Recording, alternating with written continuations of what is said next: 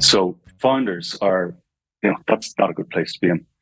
So founders are realizing that, well, hey, what if I don't take the the investment from these guys and I grow this organically or use small bits of finance from time to time to grow my company, but I retain 95% of the company uh, as a management team. And that's that's what they're doing. No, they mightn't they mightn't be they mightn't hit the unicorn status that you know other VCs or investors want. But instead of instead of getting to 100 million, um, you know, revenue, they get to 25 million uh, dollar revenue, and they sell the company, and they own 95 percent of it. So it's a great exit, and it's a life changing moment for them and their, their management team and the staff.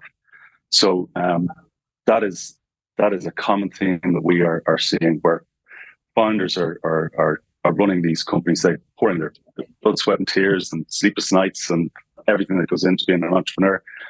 Um, so the chances of them being a having a successful exit is far greater under their own steam rather than going down the VC uh, route that you know want them to be a unicorn.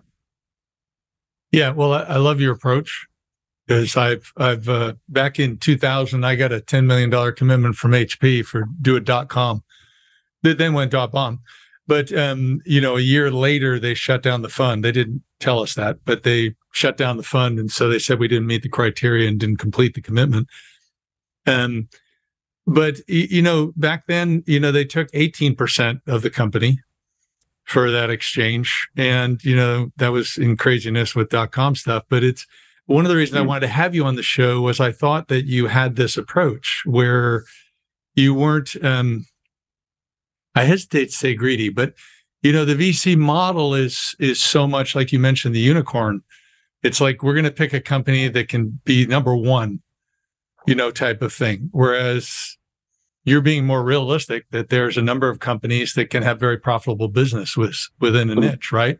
Well, that's that's that's it. And you know, look, VC, we, we need VC there because we need them to back the companies that need to be number one to make us successful. If you think of Google um, or Facebook or you know any of these unicorn, there's only really going to be very few winners.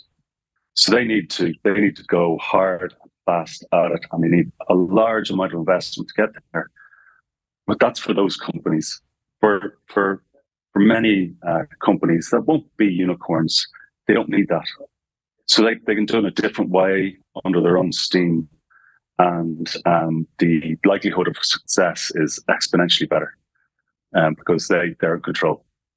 Yeah. Do you have like a poster company that you'd like to explain what happened with them, with eh, with your investment and how they grew? We don't often talk about our, our specifics of companies, but uh, you know, on our on our on our website, we've uh, we've a few um, few companies we are allowed to talk about. Um, there's uh, there's um, there's one called Let Greens. It uh, took, took our it's, it's a non-software company. It's our one of our only non-software companies. It's a, a nutritional supplement. Uh, they took our money. They grew 120 percent in the year, um, and went on to raise you know a large, a large, a large amount of money and a, in a Series A. Um, another company um, based out of Singapore uh, took our money and they bought out an investor of theirs. And uh, three years later, they sold the company, and the founder who bought out the investor, who was who owned twenty percent of the company at the time, uh, reaped the rewards of backing himself and uh, and the management team.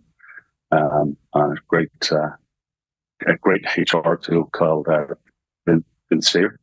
And uh, again, but it's the management that we we we want to really get to know the people and the management and how they think about their business. Sure.